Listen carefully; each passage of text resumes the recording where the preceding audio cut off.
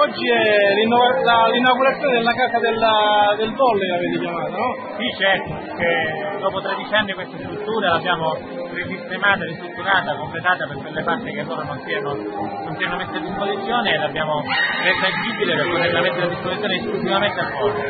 In, in questa struttura ci saranno 5 società che si alleneranno e giocheranno proprio perché creare questo movimento importante che c'è a Modi oggi credo che deve essere supportato dall'amministrazione e quello stiamo facendo. È completa questa struttura, già cominciano a chiedere per esempio l'aumento del pubblico, allora, in questa prima fase eh, c'è il vincolo dei 100 posti per quanto riguarda la prima autorizzazione, ma stiamo lavorando proprio per aumentare l'agibilità per un numero superiore anche perché ce lo chiedono perché sono tanti che vengono a seguire le partite, quindi lavoriamo in questa direzione, faremo anche in estate, interverremo anche a fare gli riscaldamenti ed è un, un, andare avanti in quello che è l'investimento per questo sport che lo merita veramente a modica per il movimento che c'è. Quanto avete speso per renderla usufruibile? Già in questa attività abbiamo speso quasi 40.000 euro per poter rendere agibile. E pare ce ne vogliono altri 20.000 per l'impianto di riscaldamento per terra? Senza, senza problemi, è un questione di tempo, ma li faremo in estate faremo anche questo. Ma lei che sport faceva quando era giovane? No, ma io ho fatto il tirabolo agonistico perché sono stato